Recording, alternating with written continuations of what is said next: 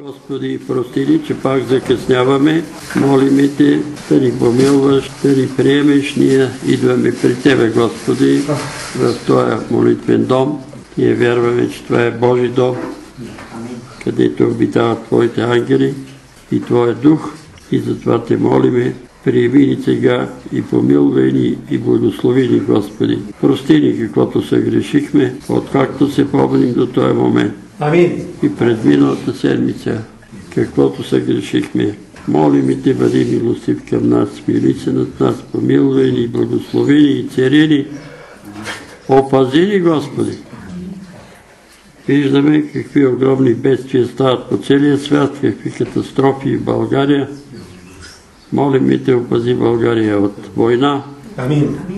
опази България от катастрофални земетресения, от бедствия и от тия тая война по шосетата. Господи, загиват невидни хора. Молиме Те да утешиш родителите на тия двама милиционери, които загинаха. Молиме Те да се смириш и на тия милиони, които са затънали от това наводнение в Пакистан. По целия свят стават бедствия и това ни напомня, че небесните сили се разклащат и наближава Твоето идване и ние трябва да бъдем в пълна изправност. Затова ни помогни да изправи живота си пред Теб. Молим и Те за брат Мирослав, който е в тежко състояние. Милост Божия. Молим Те за този човек Майкъл да го развършиш, да го освободиш, както развърза и освободи Христо, както развърза и освободи и другите двама. Молим и Те за Невена, майката на тая сестра. Ения съпруг си е преминал наскоро. Тежко е. Ние виждаме какво става по целия свят с този COVID. Ние те молим и да ни опазиш от настинки, от заболяване, от вируси, от различни вируси, които атакуват. Молим и те за брат Юлиан, който е болен в момента, някакъв вирус, да бъде развързан, освободен и. Амин. И всичко това правиш, за да може ние да се стреснем, да се събудим, да се опомним и да се отстраним от греха. Амин. И затова те молиме, Господи, сили ни давай. Да отсичаме, да отричаме греха и да го отвърляме от себе си и от домовете си, и от родините си. Амин. Молиме Ти, Господи, благослови страната ни. Не знам какво означава този глас. Война. Първия удар ще бъде в Западен парк. Дали тази война е против църквата, дали тази война е е политическа, дали тази война е някаква друга, ние не знаем. Но се молим и опази България от всякакви видове войни. Амин. Слава да бъде името Ти. Молиме Ти за пълен мир в България. Молиме Ти за мир в Украина, в Русия и на друго место, ако молиме Ти за мир в Сърбия, Косово, Господи, да не се избиват. Сатана вилне и се старае да се пролива човешка кръв.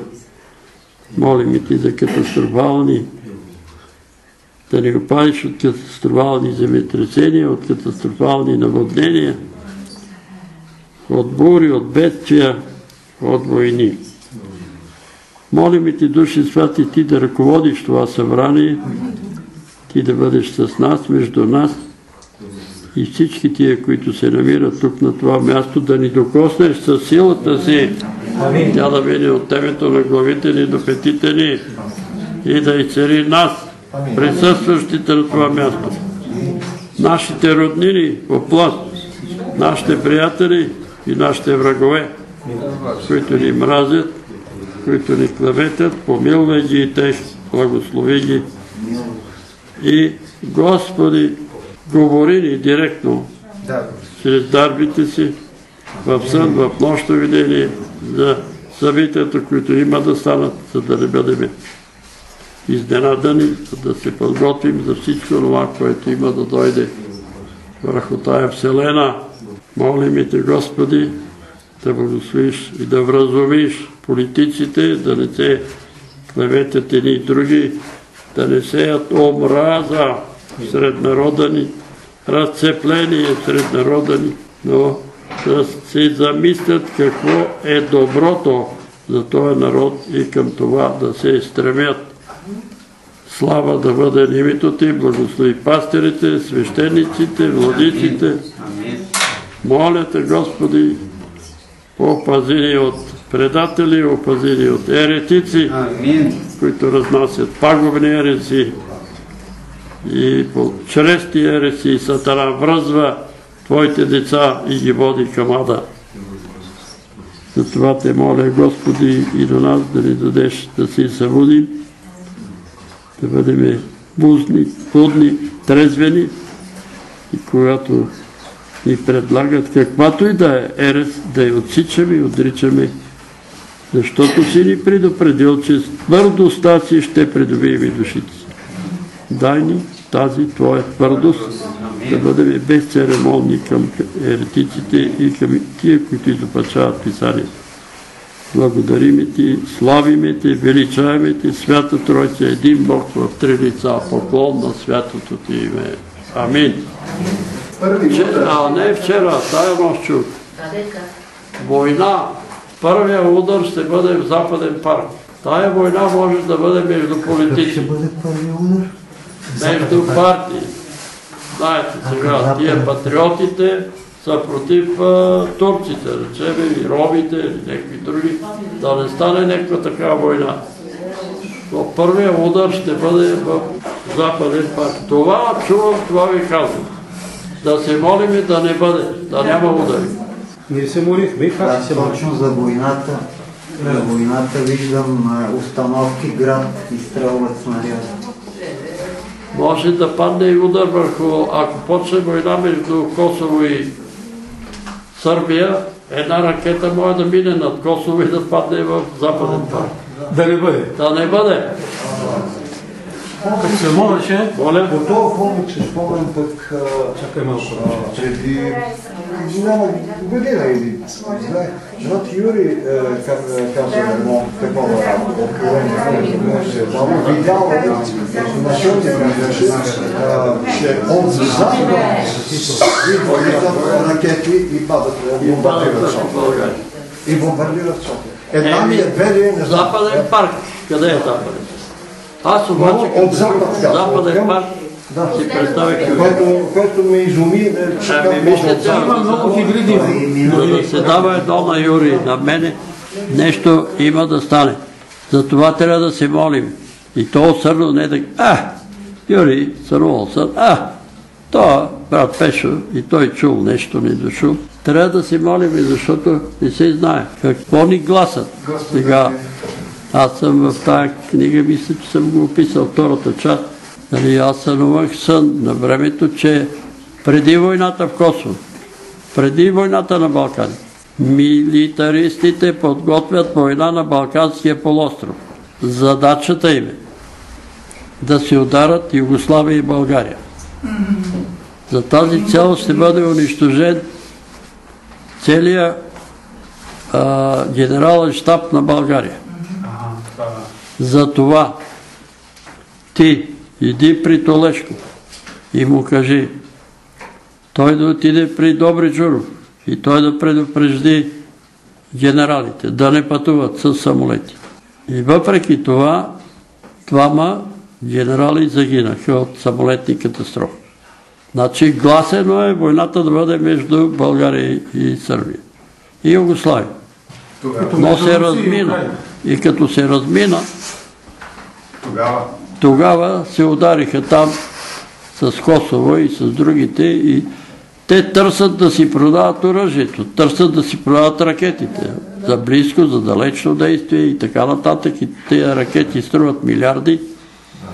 И не знам сега е, някой за това, че а всичко това, което тогава ми се каза, нали, излезна верно.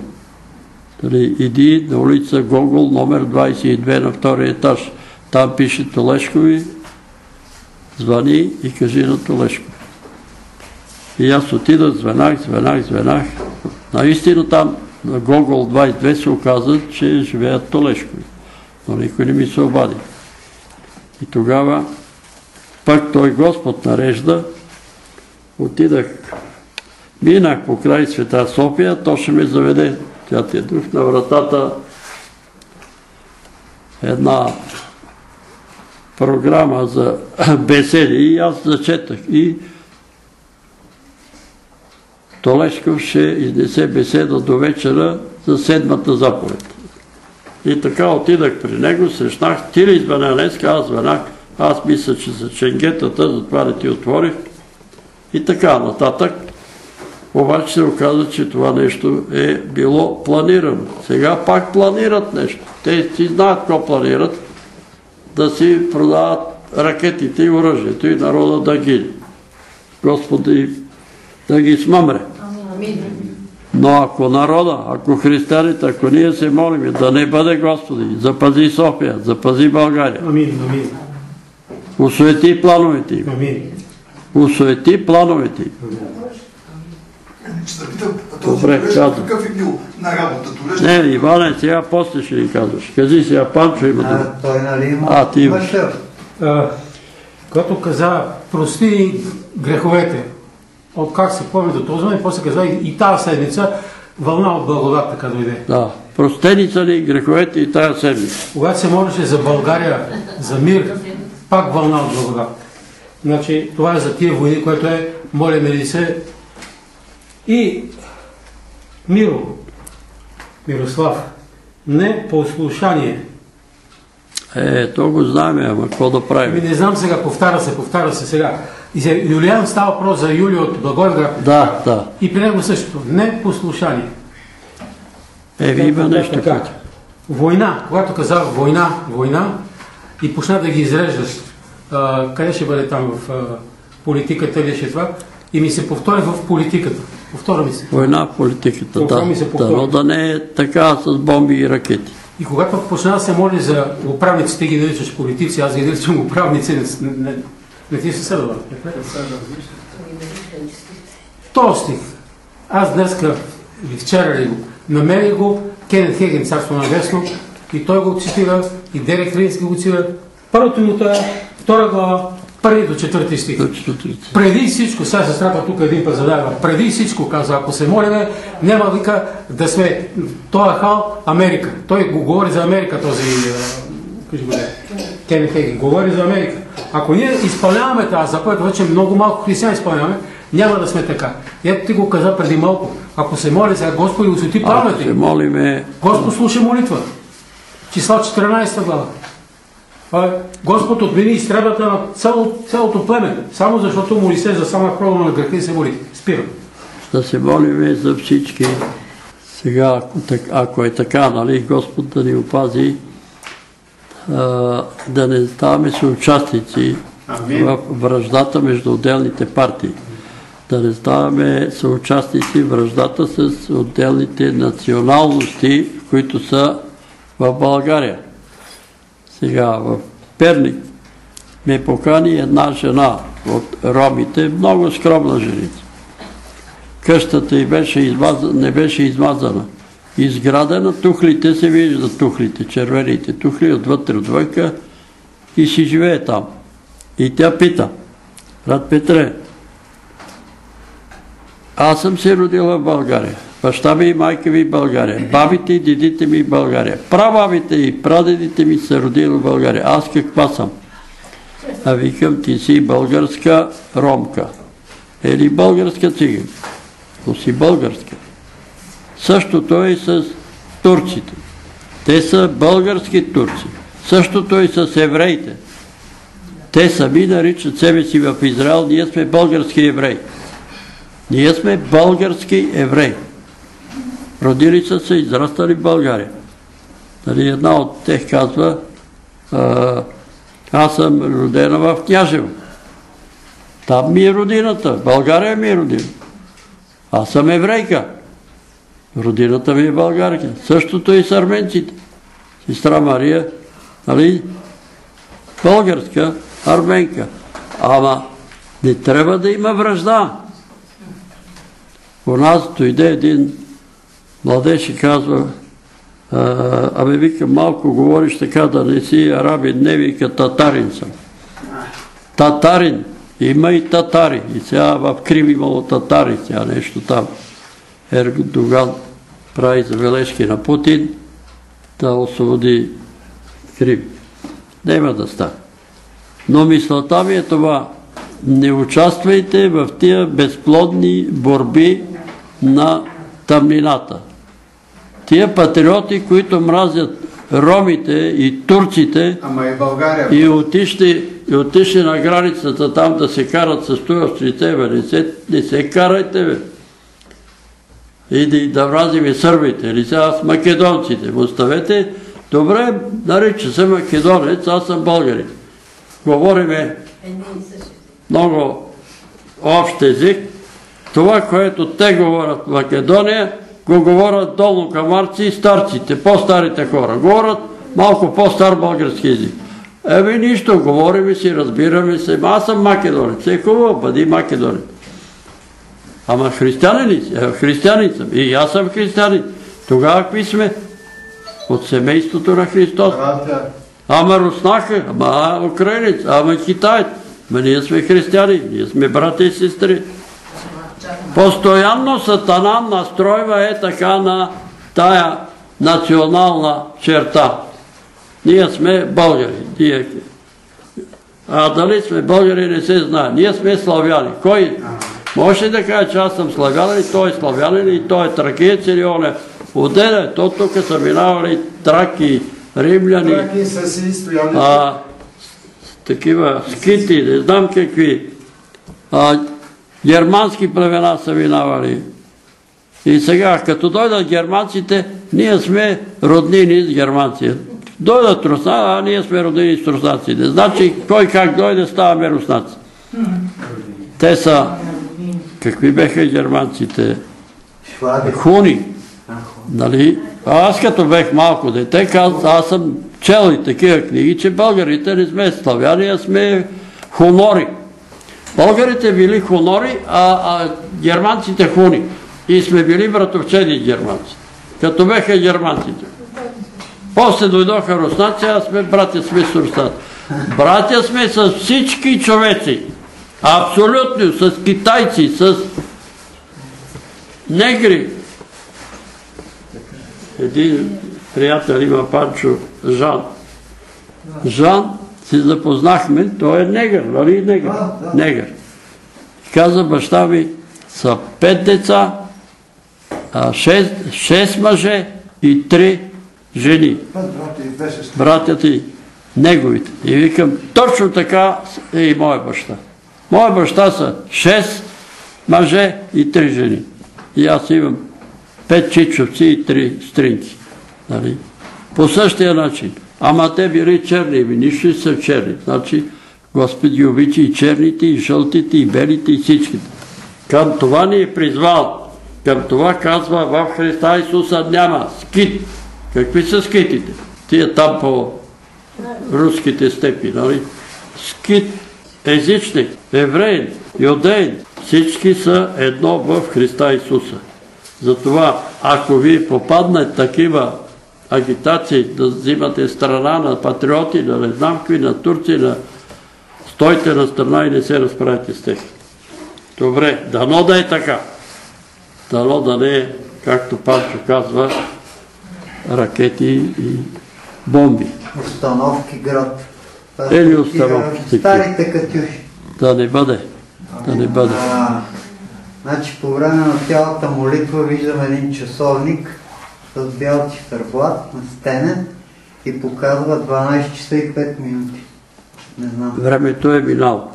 А, за Мирослав виждам една пожарна кола и работи сирената и синята лампа. Продължаваме да се молим за Мирослав. Работата е сериозна. Молете се като за близък човек, като за роднина. За управленците. Значи чувам две думи управленска немощ. А, когато се моли да ни опади Господ от COVID, чувам опади ни от греха.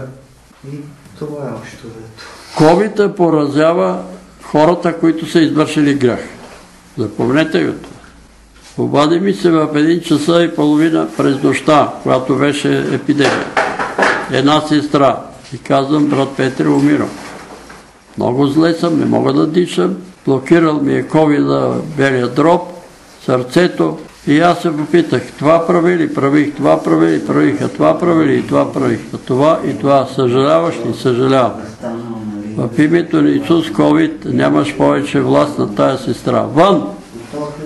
Сутринта я изписаха и тя сега е жива и здрава. Разбирате ли кой е COVID? COVID има власт над греха. Изповядайте греховете си. Ако имате извършени, казвам на сестрите, това е главният грех на сестрите, на жените. Абортите. Един, два, три, пет аборта. Имала съм аборти. Изневярата при мъжете и при жените. Изневерявал съм. И тогава Господ те освобождава. Съжалявам, Господи. Виновен съм. И ковита си тръгва и си заминава. Ако кажа, аз не съм виновен, да. Нали, няколко случаи имам такива, които си отидаха, сестрите. Да, изневерявал съм на мъжа ми, но той ми изневеряваше, аз за това ме изневерявах, си отмъщавах. И поне си отмъщаваше си завинах. Не мога да си отмъщаваш. Той си отговаря за себе си, защото дават поражение. Добре, песните. Това какво беше? А, това са на Божидар. Тук ли е Божидар? Ако можете, давайте на тези, които са закъсали, които не могат да си плащат сметките. Но идват тук хора, които хитруват, които лъжат, които лъжат, за да могат да изкарат някой лев. Нали? Ако може, тук се дават някои пари и тия пари се дават, за да се помагат. Кой? Бедните, сиромасите. Има между нас хора бедни, които може да им се плати, плати тока, да им се плати а, консумативите или да им се купат лекарства или други неща, а не за едни и същи хора, които постоянно лъжат и хитруват. И да се хващат на работа. Сега не може, ще отидеш, ето сега. Аз не знам, някой знае ли Мара Пашова на колко години? Тя ходи да чисти хода. А? 80. Ходи, тая жена ходи и чисти входове, за да може да си изкара прехраната. На нея трябва да дава. А другите хитрици хитруват, лъжат, мажат, идват тук, правят се. Трябват, разбира се, че им трябват. Аз знам, че им трябват и Господ промисля. Но потребайте да си паднат малко нещо да... Ами търси ви работа, ама няма. Търси ви работа, ама няма. Не е верно. Има. Добре, айде да попееме малко. Времето за пеене го изговорих. 610. О, неизмерима милост,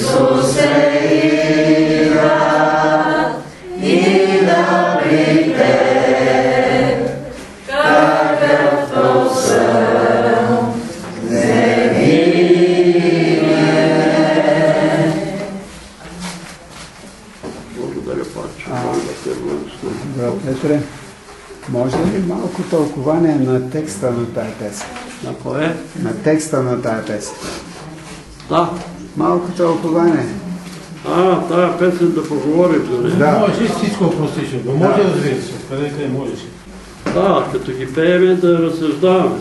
Да. Може 611. Можеш ли наистина Исус всичко да ни прости и да ни даде мир и спокойствие? Разбира се, че може. Но какво трябва да направим? Да отидем при Него.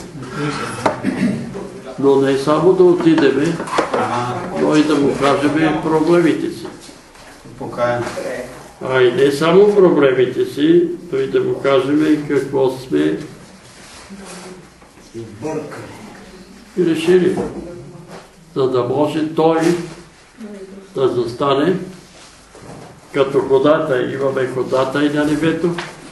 Ако някой съгреши, ако някой падне, той трябва да стане, защото казва, има падащите не стават. Ако някой се спадне на улицата и падне, какво прави? Ми става. Не лежи на ясно. Така и ние, ако паднеме в някакъв грях, в някакъв грях, трябва да станем и да му кажем и да отидеме при Исус. Господи, съжалявам, това и това направих, това се случи с мене. Аз се скитах воден от лукави враг. Много е важно това. Днес маса народ се скитат и търсят мир. Там, където няма да го намерят. Къде търсят мира? В дискотеките, в баровете, в ресторантите, в публичните домове. И какво ще намерят там? Удоволствие, обаче мир няма. И народа не пита за небето. Върви и не пита, не го интересува. Какво е това небето? Облаци. Дали? Тук трябва да разбираме небето за небесното царство. Дали тук вие знаете, че брат Лазар много ми се разсърди, че беха написали, направили един мирен договор, мирен договор на грешника с небето. Обаче оригинала е мирен договор на грешника с небесното царство. Има разлика. Защото небето е облаците, космоса, нали? това е небето. То се подразбира и тук пише също небето. Ние трябва да свършим, да сключим мир с небесното царство, не с облаците, не с слънцето, не с луната, не с планетите, не с звездите, а с това небесно царство, което се състои от цар на Вселената. Архангели, серафими, херовими, милиарди ангели, с тях да бъдем в мир. И когато сме в мир с тях, тогава ще, има мир и в нашите души. А лукавия враг винаги се опита да ни заведе некъде. Да ни отклони некъде. Да се занимаваме не с Словото Божие. Да се занимаваме не с Небесното царство, не с мирния договор. Да се занимаваме с кой е по-прав, кой е по-велик, кой е по... И не разбираме, че велик е само един. Само Бог е най-велик. Има такава песен. Само Бог. Всички други има определено да живеят определено време тук на земята и това, което го наричаме ние велико, велико, отива в пръста и го изяждат червите или го изгаря огън. Това е великото човешкото. Но той ни влачи на там. Още от младините. Децата, младежите да се прославят. Да станат републикански шампиони, световни шампиони, известни звезди, известни таланти. България търси талант. Тичат към какво? Към прослава към известни. А в действителност към Панчо ли каза? Към греха. Към гордостта. А Бог казва, Бог говори веднъж. И ако не забележат още един път. И, и трети път. С цел да отклони човека от гордостта. Запомнете го това. Проблем на всички човеци ни е гордостта. Ние да бъдем нещо повече от другите. Ама не сме повече. Не сме, защото всички сме какви? Грешници. И Бог дойде за грешници. И тук автора казва, разбрал е, че доволство, мир, любов и щастие има само в Неговото царство. Опитал е в живота, тук е търсил мир, там е търсил, там доволство, там щастие, няма. И накрая го намира там, в Неговото царство. И за това решаваме, след като намерим този мир, това щастие, това доволство, този, който е намерил небесното, той е доволен. Той не роптае, той не мърка. Цените се повиши на бензина, на доматите, на хляба, повишили се, какво да правим? Ако роптае, какво ще стане? Нищо не да стане. Ако роптае, Още по-лошо. Се молим да намалеят. Обаче можем да Ще се молим да намалеят. ще се борим да намалеят. Може би 646. Ама А, за да намалеят трябва да не грешим. Да. Намалеят, трябва да не грешим. А ние грешим. И какво правим? Лъжем, крадем. Цените се дигат. Как се дигат? И тия, дето събират житото там, лъжат. Тия, дето мелат брашното и те лъжат. Тия, които печат хляба и те по-малко лъжат. И то се натрупва. И за да паднат цените, народът трябва да се покая. И тогава ще дойде благоденствие и благословение. Амин. Когато започнем всички до сърце да пеем и да прославяме Божието име. И нашия дух да не лети по вношенията на Сатана, по вношенията там е щастието, еди къде си е щастието, а по вношенията на Святия Дух, че щастието е само при Бога. Той дава пълен мир. И когато усетиме, че нашия грях е простен, а Бог дава такъв отговор, когато ние се молим за прошка на греховете, Той ни дава радост.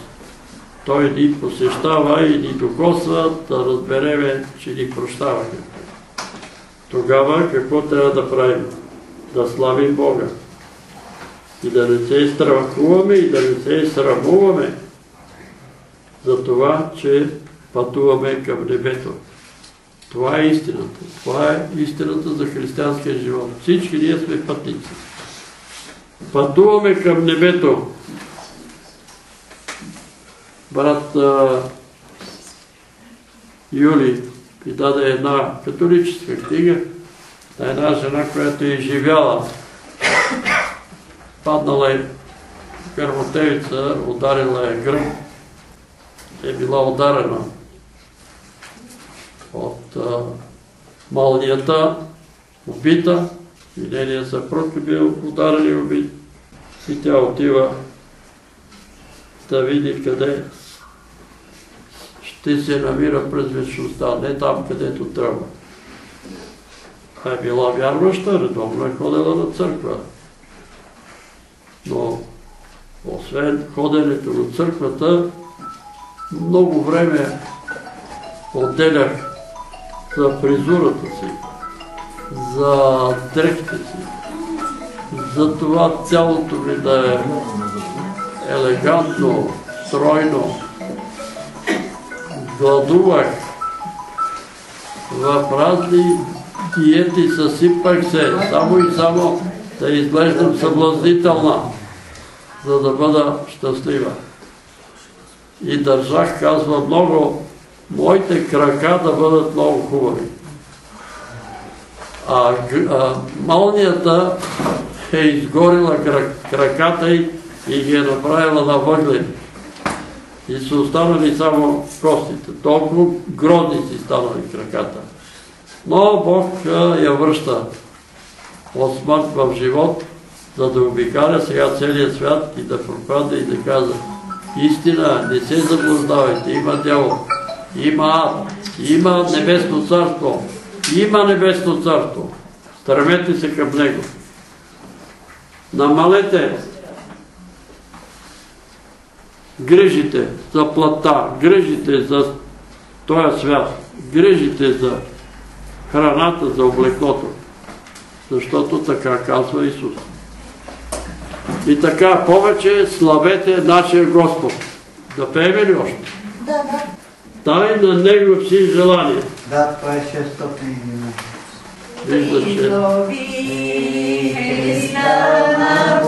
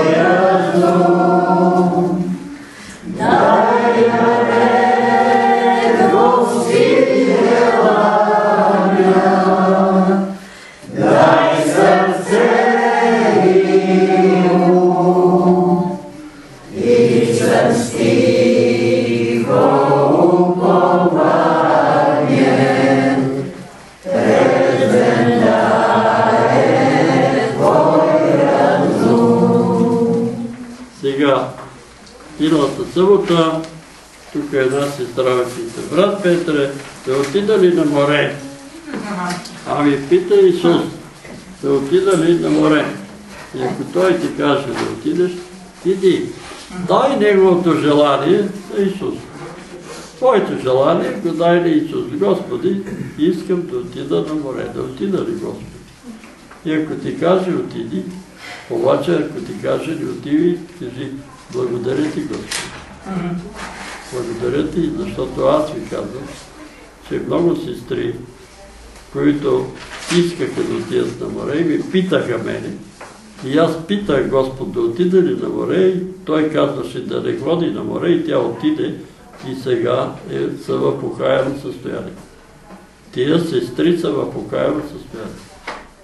Там на морето намериха греха и сега не могат да се откажат. Защо? Защото техните желания не ги дадоха на Исус. Искаш да имаш семейство. Добре, дай това желание на Исус и Той ще ти покаже най-подходящия партньор. Той е за теб. Ама не, той е малко, много е фанатизиран. Говори ми само за Бога, иска да се молим и да пееме. Той ти препоръчвам. Ако си избереш друг, ще трябва да патиш с него. Или както има една песен, Нане пита баща си в тая песен, тате да се оженали за пена. Баща му казва, ако се ожени за пена, ще съжаляваш. Тате тогава няма да се жена за пена. Ако не се ожени за пена, пак ще съжаляваш. Тогава какво да правя? Питай майка ти. И Нане отива при. Мамо, да се ожена ли за пена? Пазе ми я да пати като и аз баща ти. Това е желанието да питаш майка ти, баща ти. Пита Исус, бе, човече. Пита Исус какво да направя с тая пена.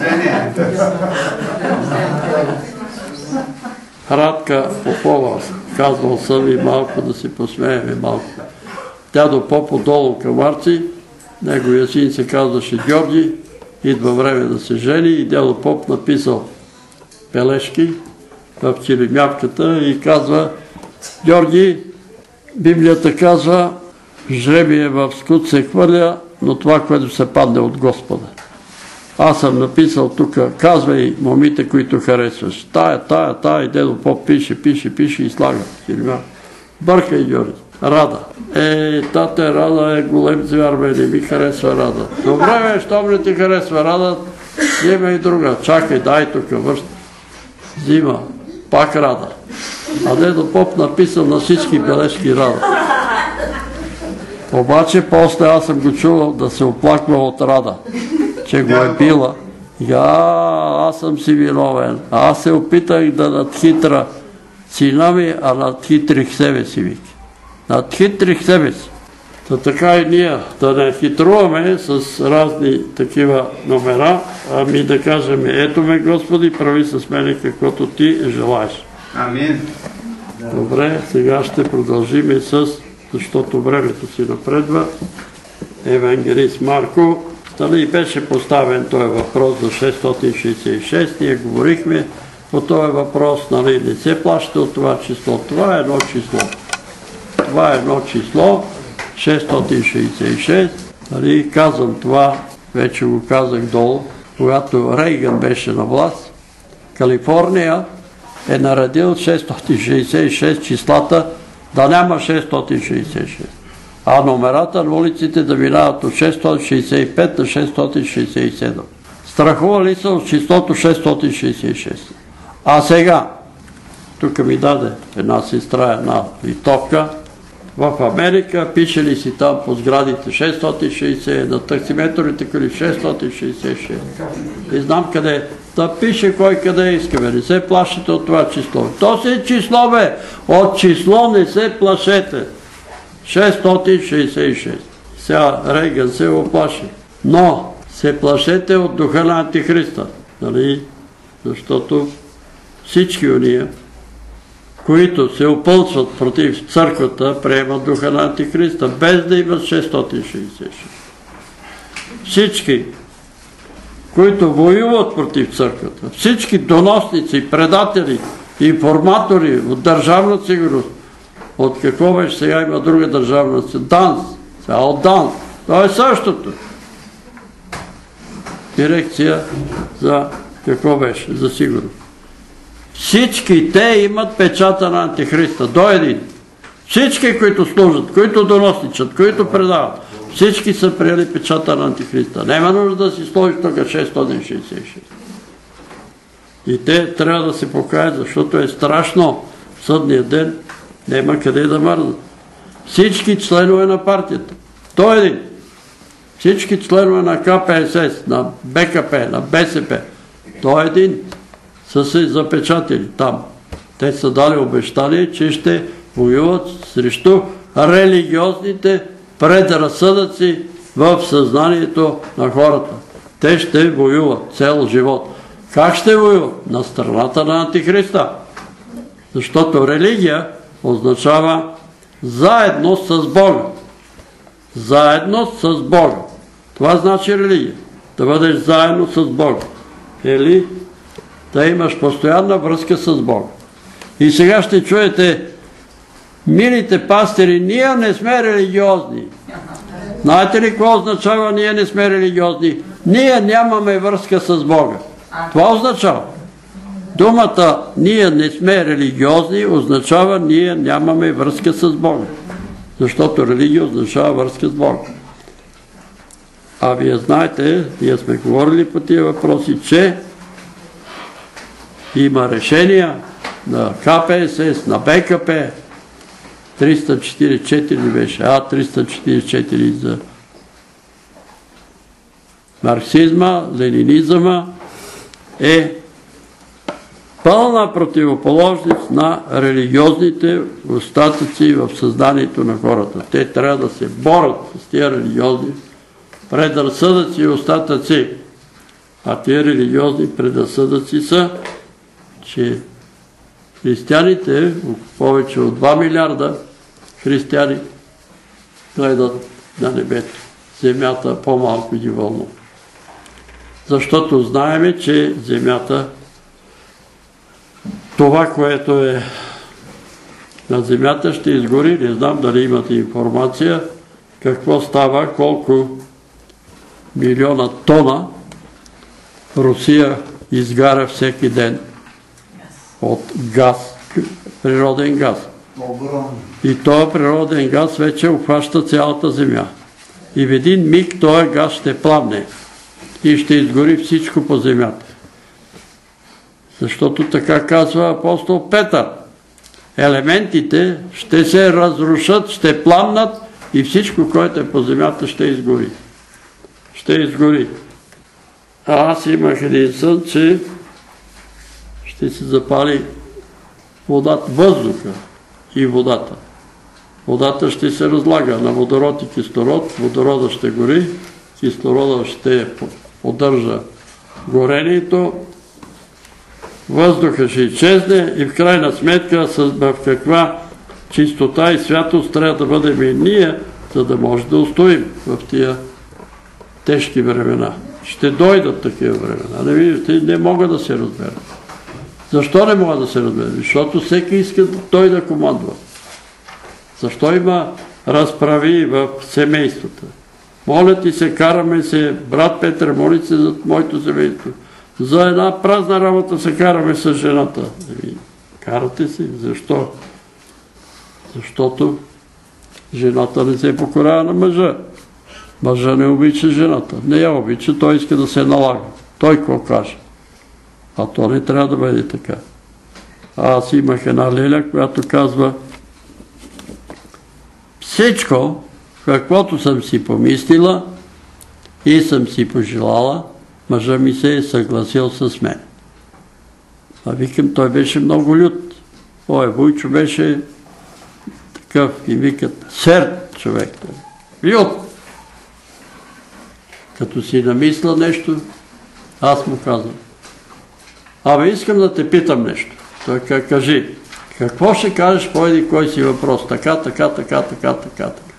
Ами, добре, не е лошо. Да го направим. Да. Ама то излиза от него, ама в действителност се от мене вика. Ама аз чрез него го получавам. Какво означава тая моя лиля? Мъдра жена, бе! Мъдра! А не, не, така ще бъде. Аз казвам, така ще бъде. И той е по-силен и каза, няма да бъде. И затова се карат. А какво трябва да се прави? Научете си на Изус. Колосяните, трета глава. Напишете си я на стената. Какво трябва да прави мъжа, какво трябва да прави жената, какво трябва да правят децата, какво трябва да правят бабите, какво трябва да правят старите. Запишете си и ще има мир в домовете ви, бе хора. Той е казано какво да се прави. Обаче ние не искаме да слушаме. Искаме не, аз какво кажа. И що ми искаш ти какво кажеш, не има мир. А каквото Бог каже, тогава има мир. Стигнахме до четвърта глава. Те караме на няколко пъти. Така, Евангелие, според евангелист Марк, четвърта глава.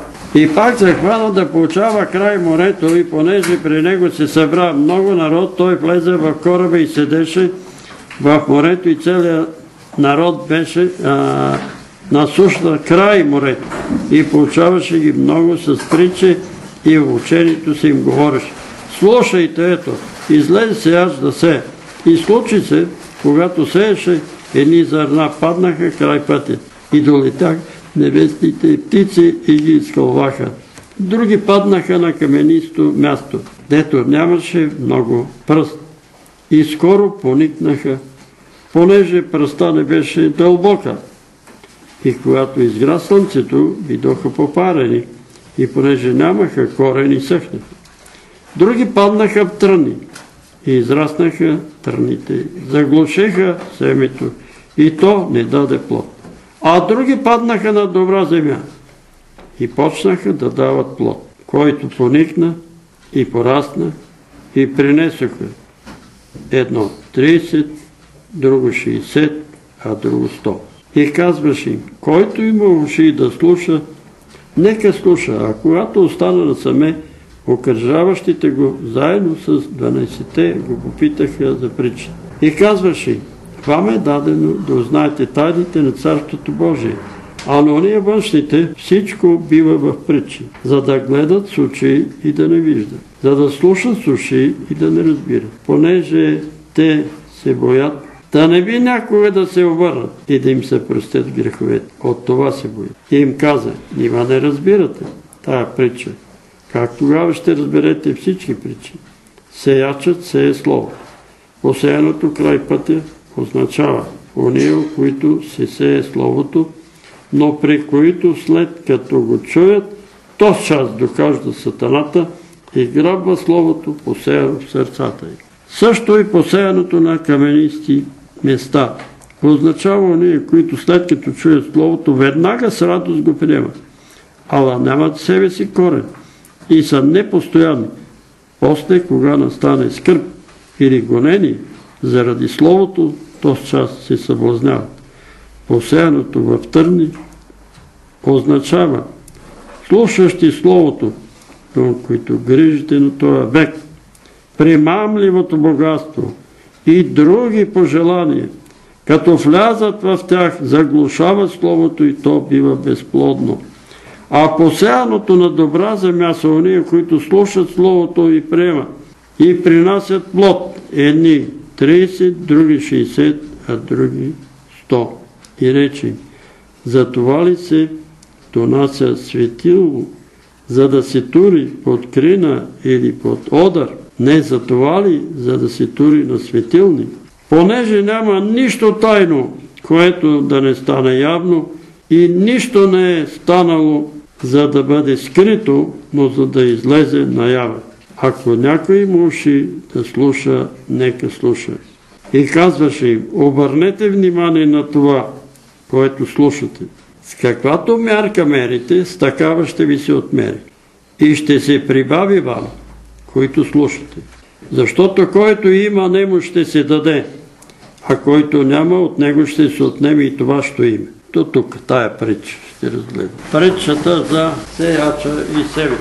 Преди много години сънувах сън, че се намирам некъде в Швейцария и беше в центъра на Европа, на висок върх, може би Монблан. По това време се срещнах с един младеж, едно момче, алпинист, който беше ходил там и разказваше за това как са се катерили там по планините и той е паднал в една пропаст и е летял 60 метра надолу, обаче склона е бил такъв, че е паднал на, в някаква преспа и са дошли спасили са го без да се нарани. Но когато той беше от Петрич, когато е тръгнал нали, с тая експедиция, майка му му е дала едно кръстче. Той го е сложил тук на ревера си, но така, без много-много да вярва на това. И той след това ми подари това кръстче и аз си го нося там на едно сако. И някой евангелисти, ей, махай го това кърче. Няма да го махай. Не, че това кърче го е спасило, а Господ го е спасил. И молитвите, може би и на майка. Но там сънувах сън, че съм на върха и гледам на север. И гледа и чувам глас от небето. Какво виждаш? И аз отговарям. Виждам една много добре разорана нива. И гласа отговаря. Това е Германия. Ако се засее с хубаво жито, ще даде много добър плод. Завърти се кръгом. Завъртях се кръгом. Какво виждаш? Виждам една нива, която тук, там има храсти, но едни човеци изкореняват тия храсти, тия бурени. Това е Италия. Ако се засее и тя ще даде добър плод. Завърти се наляво. Завъртах се наляво. Какво виждаш? Виждам една нива, пълна с плевели, бурени, храсти. И гласа отговаря. Това е България. Плевете и изкоренявайте. Защото идва ден, когато ще започне изкореняването на бурените, на плевелите, на търните и на бодилите. Иде скоро такъв ден. Това е България. Ето я, тук в тая притча разбираме какво представлява България. Какво представлява? Виждате ли какво пише тук? Да го прочетеме отново. Посеяното в търните означава слушащи слово, но о които грижите за този век, премамливото богатство и другите пожелания, като влязат в тях, заглушават Словото и то бива безплодно. Това е България. Премамливо богатство, слава, величие, партизанства, политически боричкари и така нататък. А Словото минава по край ушите и не дава плод. И не може да даде плод. Кои са тия, които с радост приемат? С радост приемат, които също са повърхни. Те не искат да се замислят върху това, което се говори. Да, да, да, да, да. Да, да, да, да, и това. Да, и така. И тия хора, където и да отидат, и като отидат при някой еретик и он еретик им казва и Дева Мария родила пет дъщери и пет сина. А, да, да, да. Готово. То с час се съблазняват. Не разсъждават, не размислят, направо гълтат. И като дойде изпитанието, изгарят. Кои са тия, които пък не могат да приемат? Отиват на църква и слушат Словото, проповядва там проповедника, но те си мислят за манджата. Те си мислят за подправките на това ястие, което най-много обича мъжа и до вечера тя ще го изготви това, тая маза и там трябва да сложи тия, тия, тия подправки. И не слуша слово. И тогава дявола грабва словото то, не дава плод. Или друг пък си мисли в работа, това ще направя, това ще направя, така ще направя, иначе ще направя. Прави някакви планове без кръчмани, дето казват хората, и не слуша това, което се говори там на Амон. И естествено е, че той не може да има добър плод. Кои са тия, които са добра, разорана почва? Германия. Защо е разорана? Защото Германия беше съсипана във Втората световна война. Беше разорана. И там едва ли имаше човек, който, човек, който да не е пострадал от война. Защото той самия може да не е пострадал, но е пострадал мъжа му, сина му, дъщеря му или някой чичо му, или вуйчо му. И всеки човек нещо имаше, беше пострадал. Беше разоран. И ако се посее, но някой трябва да посее това Слово Божие. Сега, за съжаление, чувам в Германия, които са в Германия, има много църкви, пални църкви, но студени. Студени. Нема я вътре, я нема любовта към близките. И тия християни, като се срещат по улицата навънка, не се поздравяват. Цел не се поздравяват. Аз ви казах долу. Като бех на Панталей на гости във Франция, в Лион, излезнах там на една разходка в един парк и си върва по улиците и ми срещат жени, деца, мъже, бонжур, бонжур, бонжур, бонжур, бонжур, аз си върва и те ме поздравяват хора. Бонжур, бонжур. А тия казват Германия, християните, които се познаваме в църквата, като видим теда, се разминават. Какво е тая студенина? Защо е така? Защо охладня любовта? Поради беззаконие. Поради беззаконие. И така, от кои сме ние? Другите пък бързо приемат, обаче дойде ли изпитание, гонение, край. Паника. Тук си събирахме и се молехме 80 и втора, и трета, и четвърта години. Обаче дойдоха милици, милицията, една джипка с униформени, една джипка цивилни, такива полицаи в големата сграда и някои от хората, които идваха тук, като ги видяха, да ги няма. Един от братата, с който се молехме, и той отиде в Е, там отсреща има един вход и се скрива в този вход и аз му казвам, бе, брате, ела бе, не се бой бе. Те са човеци, бе, милиционерите са човеци, бе, те се пазат, милиционерите пазат. Кого пазат милиционерите?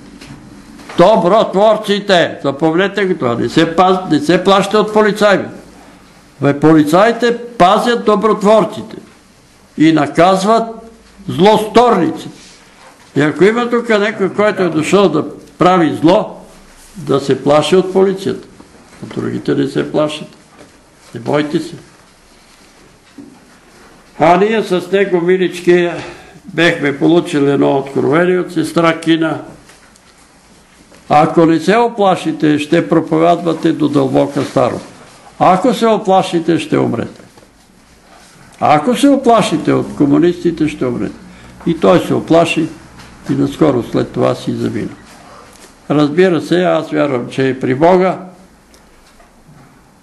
но той можеше да остане да дава плод. Неговата жена е казала, нали, аз не съм говорил, но на други брата и сестри, че както си е лежал в спалнята, изведнъж е извикал, Я, Исус! И тя изтичала, какво бе, Исус! И така издъхна. Исус е дошъл да го прибере. И така се е отишъл. Така че не се плашете, ако дойдат ви подгонат, защото ако се оплашите, ще бъдете от тия, които заради страха избягаха от Словото. Бехме един път в дома на брат Борис Игнатов. И дойдеха милиционерите, такива униформени, и сестра ми се опита нещо да им каже ми. Не сте прави да разваляте молитвеното събрание. Я ти мълквай ма! Газия милиционера, викам, сестор, не се обажди сега, не ти няма да поправи света. И служиха един голям катинар и запечатиха тая, това, тая стая. Но братята го намериха колая. Избиха врата на другата стена, направиха една врата и пак се събираха. И катинарата ми печата на полицията си стоеше там на вратата. Така че когато искаме да се събираме, няма да стане с печати и с забрани. Няма да стане. Няма да стане да го чуят тия, които се надяват, че ще унищожат църква. Но кои? Тия, които не се оплашат. Тия, които не се оплашат, които искат и имат добро сърце и приемат това Слово Божие и го одобряват. И го одобряват, а не се препират защо Бог така направи, защо Бог иначе. Не може да питаш защо Бог. Защото Бог управлява цялата Вселена. И ти малко човеченци се препираш с Бога и защо, защо. Нали? Идвали са при мене сестри и казват защо Бог така, защо Бог иначе. Викам, сестро, въпросите ги задава Той, Бог. Той задава въпросите, а не ти. И Той те пита, ти, малко човече, защо се греши? Нали знаеше, че това е грях? А, не съм знаел. А, лъжеш. Знаела си. Всеки човек е потомък на Адам и Ева. А те са яли от плода за разпознаване на доброто и злото. Те са яли. И всеки човек знае. Нема такъв, който да не знае, че това е добро, а това е зло. Много добре знае. Но такава изнася. И такива човеци, които се пазарят с Бога, до никъде няма да стигнат. Те трябва да имат добро сърце и като се прочете това слово, да кажат, ето ме Господи, направи с мене каквото ти желаеш. Разбира се, има много проблеми в този живот с деца, с мъже, с жени, с съпруги, с съпрузи. Какво трябва да правим, когато не сме послушали? Да се молиме. В Баптистската църква имаше едно семейство, жената беше невярваща, 30 и няколко години този мъж се моли за тая жена да се обърне към Бога. Имаха две дъщери, тя се обърна и двете дъщери се обърнаха и станаха огън.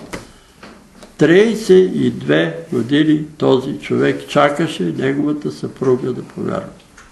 И се молиш. И, и нас ни караше да се молим за нея. И тя повярва накрая. Е, вината си е негова, защото се оженил за неверваща жена. Обаче ще има пред Бога награда. Ще има награда. Сега тая книга, която ми я даде, заговорих за нея, нали, че тя е ударила малния и така е могла да отиде да види къде е баща и къде е майка и така нататък. И казва, майка ми се е молила 40 и няколко години за баща ми. Та баща му да не отиде в ада. Баща и да не отиде в ада. И той накрая, преди да си замине в този свят е повярвал. И така трябва да бъде. Ако жената не е вярваща, да се молиме, да се молиме за нея, да повярва. Ако мъжа не е вярващ, да се молим и той мъж да повярва. Предлагате го, дигате ръце, да се молим за мъжа ви. Да повярва. Господ ще го привлича, ще го шамароса, ако трябва, ще го обръща. Той ще усети, че обстоятелствата се променят. Но трябва да се покаеме за извършените грехове, за да бъдем чути. И така, като напече слънцето, като подгонат църквата, не се плашете. Защо? Защото Бог е победител. Бог е победителя. Ама ще те убиеме. Е, колкото ме убиете.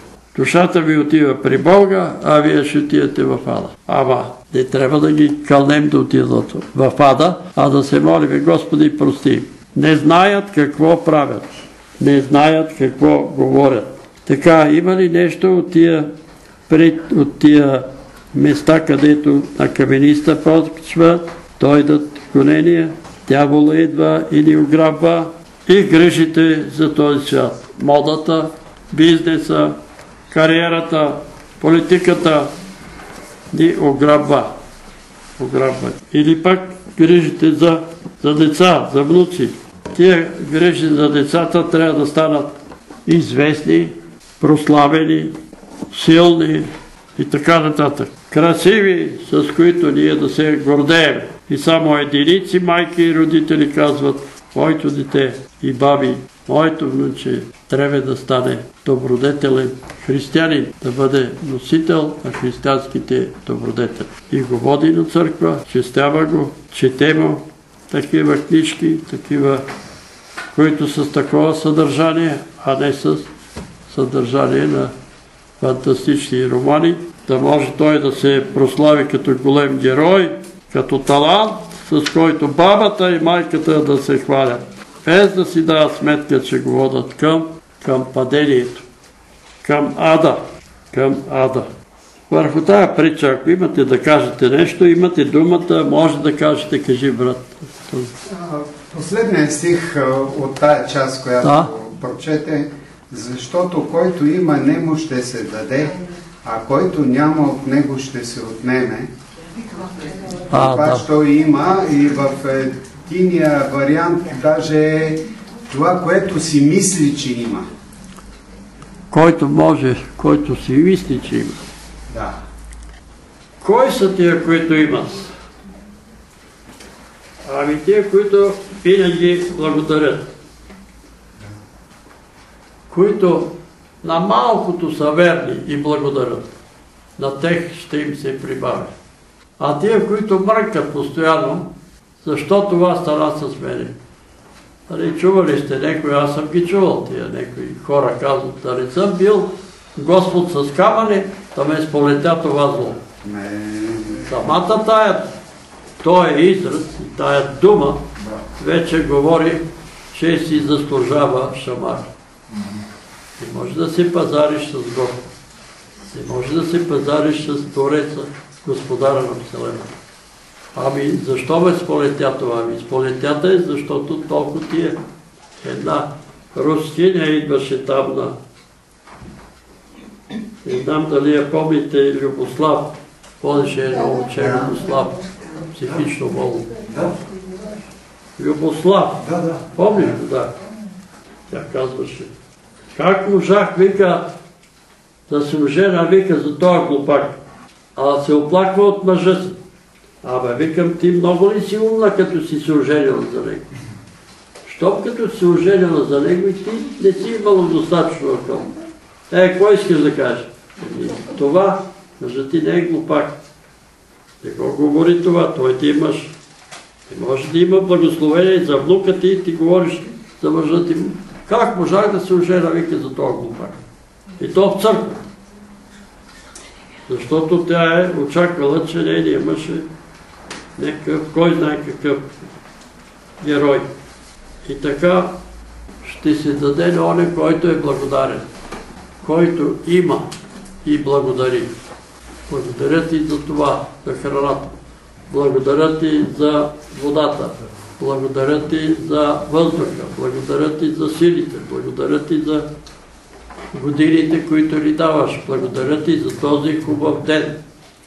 Някои се подиграват с шампак, но той казваше Сутрин, като се събудя, първата ми дума е Добро утро, святи душе! И почвам да си говоря с Бога. Господи, благодаря ти, че ми подаряваш и днешния ден. Дошли святи ръководи ме в днешния ден. Благодаря ти, благодаря ти, благодарете ми. Благодарете ми. И тогава, като благодарите, ще ви се даде. А като роптаете и негодувате и казвате, защо Защо? Защо ще ви се отнеме и това, което имаш? Ако имаш нещо друго, брат Тодоре, във връзка с тия думи, можеш да прибавиш, да кажеш, да коментирате. Разсъждавайте, да разсъждаваме, да не е само като да си изпеме песента и после айде да си отидем. Обърнете внимание на това, което слушате. С каквато мярка мерите, с такава ще ви се отмери. И ще се прибави вам, които слушат. Ако някой има уши, нека слуша. Понеже няма нищо тайно, което да не стане явно. И нищо не е станало, за да бъде скрито, но за да излезе наявно. Всичко ще стане явно. Бъдете абсолютно сигурни. Затова ли се донася светило, за да се тури под крина или под одър? Една сестра ми се обади в книгата съм писал местото на крина черек. Един ангел от един черек взима и хвърля звезди върху гората. Крината е също на турски сигурно е черек. Един кръгъл съд, дървен, в който се слага житото и сеяча оттам взима от крината и се. А пък светилото не може да се залупи с крината и там да, да не свети, а трябва да се постави на светилника. Кое е това светило? Ами това светило е всеки един от нас, ако носи това Евангелие. И то трябва да постав... бъде поставено Евангелието на високо. Не да се скрие, да се криеме, че имаме Библия. Един ден отидахме да се молиме за един доктор, болен от рак на белия дроб. Аз съм свидетел най-малко може би на повече от 20 души, които Бог изцери от рак на белия дроб. Точно рак на белия дроб ги лекуваше много бързо. И неговата съпруга се оказа, че с нея сме работили в един и същи завод за 6 септември. И когато отидахме там с брат Томи Караколев, направихме един от, отричане по мирния договор и доктора се подобри. Но майка му се обади след известно време и каза, че се е влушил. Ние пак отидахме, той пак се подобри. Тя пак се обади, че се е влушил. И тогава решихме с Томи Караколев да отидеме, без да се обаждаме, че ще отидем. И като отидахме, тия хора живееха на алея Яворов. Там има един от танк, от цимент направен. В този блок там живееха тия хора. Доктора живееше в този блок. И като отидахме, изненадахме ги. И аз казвам на майката, абе сестро, колко пъти идвахме с Тоби, винаги тук на стената имаше една картина Тайната вечера. Сега дойдохме, а Тайната вечера няма. Къде е Тайната вечера? И тя е извади от един от една чекмедже там бръкна и извади. А викам, защо се е скрила? Ами защото идват негови колеги, вика, доктори от болницата и нали знае, че те са атеисти, вика, Ама нема, не се срамувайте, бе, не се срамувайте, бе. Той е който и царява, бе, той дето е на картината. Чувате ли ми вие, които сте против иконите и против картини? И този доктор си замина. Отиде си, не беше интересно. Защото като отидеме, оп, тайната вечерата. Няма ли свалят тайната?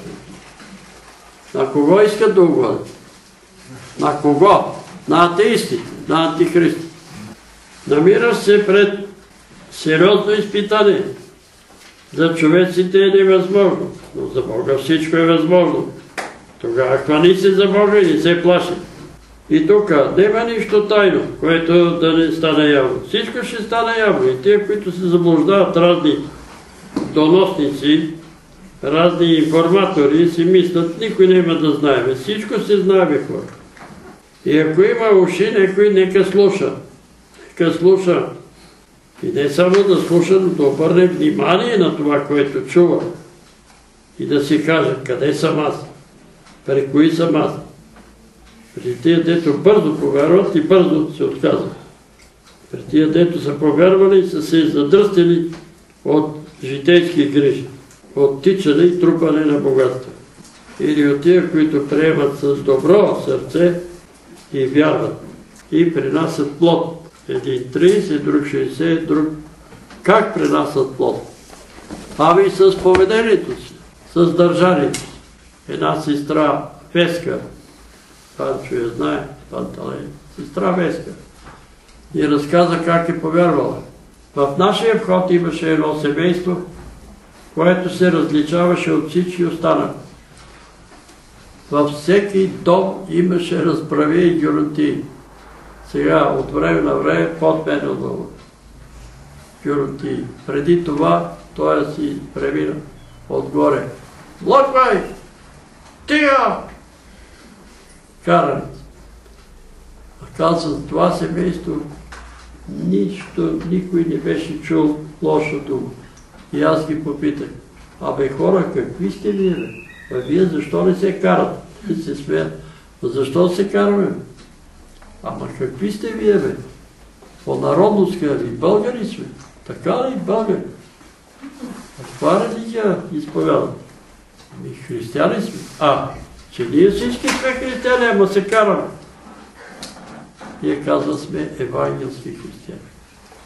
Е, има ли разлика? Е, има малко разлика. Евангелските християни се старават да изпълняват Евангелията и да не се карат, а да се разбират. Но, за съжаление, малко са тия, които могат да благовестват с поведението си. И така века аз се заинтересувах и така от тия хора повярвах и се обърнах. Ето, те са дали плод с поведението, с държанието, с крутостта. Става добър плод. Добре. Ако има въпроси, пити. Кажи, Панчо. Исках да кажа нещо. Че Господ понякога дава голямо богатство на някои хора, за да ги изпита, да покаже, да покажат дали всъщност заслужават това богатство или не. Много често тези хора губят богатството. Вличат се по него и си заминават. Оня ден хванах едни кадри на една 40 метрова яхта, която потъна точно заради, за 20-30 секунди. А тая яхта струва милиони. Така и с други. Но има големи богаташи, които се носят с най-обикновени дрехи и раздават с пълни шепи. Има такива, ти си споменава пример за един производител на сапуни в Америка и други много има.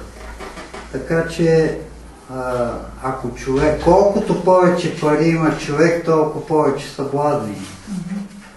А колкото по-скромно живее и като старицата дава последните си левки за да помогне на другите, ще чувства и по-добре. И колкото един мъдър старец, който гледах, каза, значи нашия живот се основава на даването.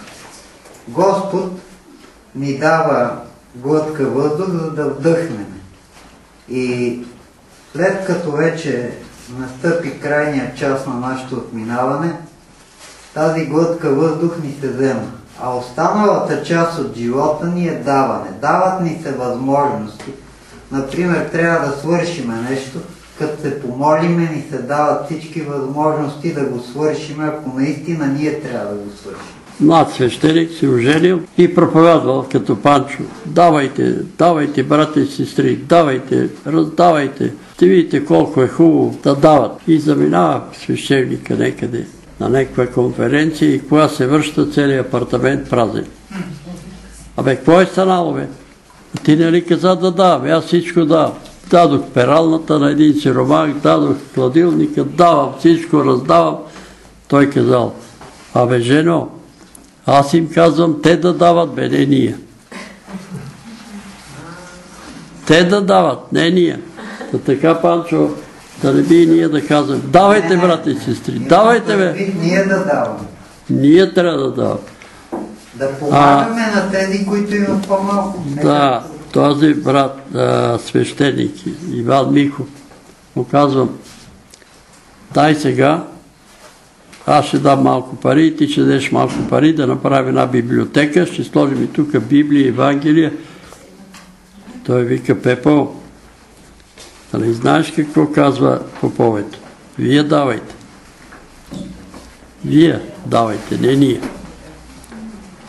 Той се шегува, нали, човека, не, че, но аз съм сигурен, че има свещеници, които дават. Един такъв свещеник е един отец Николай от Враца, когато аз бех останал с един лев и казах вечерта, оставих този лев на масата и казах, Господи, утре ми трябва 5 лева за храна. Ти му мисли, ти тук казваш да не се грижим и за утрешния ден. Аз за утре няма се грижа, но утре ми трябва 5 лева за храна.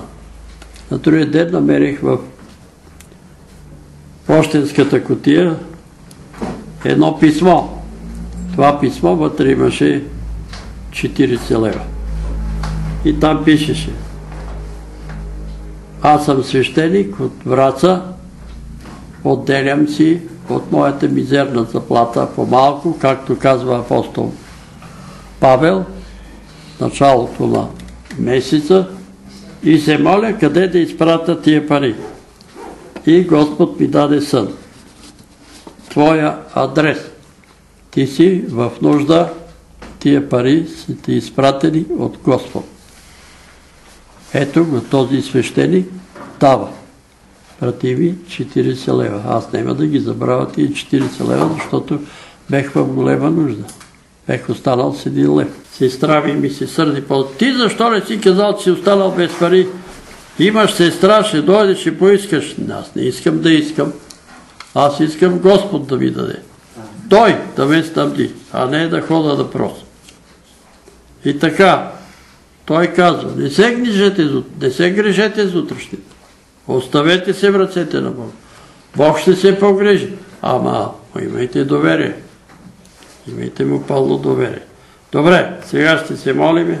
Тук има една бележка, още една бележка. Брати и сестри, моля да се помолиме за подходяща болница за работа в Германия на Вероник. Бог да я води и да бъде неговата воля.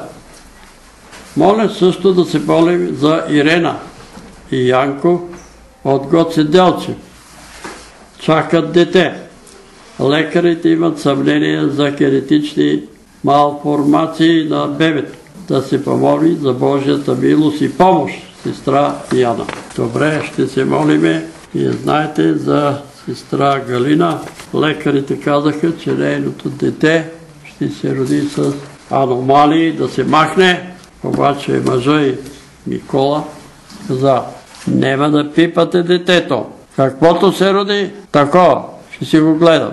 Детето се роди съвършено, живо и здраво. Дали тя идва тук, малко е емоционална, плаче, такава.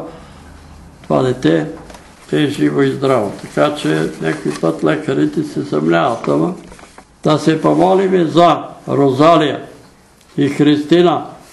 Бог да покаже милост. Ще се помолиме за това семейство. Брата и сестри, да се помолим за сестра Лиляна Петрова. Има болки в краката от нарушено венозно кръвообращение, сестра в Господ. За изцелението на Ирена от драк на тънките черва, Боряна.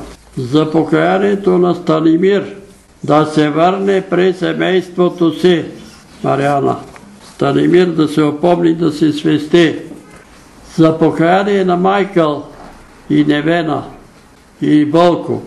милост за покаяние на тия човеци. Майкъл, Невена и Вълко. Да се помолим за Таня, Томислав и Станислав, Андриан. Да се помолим за детенце на семейство Мариан и Димо от Донка и Николай. За покаяние на Ирена, Невена, Джована от Александър. За изцелението на Виолета, щитовидната жлеза, майка на Естер. Тя имаше проблеми с рамото, много я болеше рамото, тук се молихме, рамото се оправи. Брат Христо, прочети и ти твоите. А след това ще се молим и за тия хора. Сестра Лиляна Дия спомена, тя ми писана е, че са натровали с лекарства докторите и затова се е получило това нещо. Господ да даде мъдрост какви лекарства да взима и какви да взима, не само тя, а всички нас. И още две възрастни сестри, които им е трудно посещават църква. Това е сестра Павлина, сестра от София за здраве, сили, защита и спасение на домовете. За брат Деско, за баща и майка и самия него здраве, сили и спасение. За брат Петър Чакъров, за милост към това наш брат. Сестра Клуша не съм отдавна говорил с нея, сестра Петко Добрич. Здраве, сили, защита и спасение на домовете. Сестра Фиданка и брат Здравко от Кюстендил.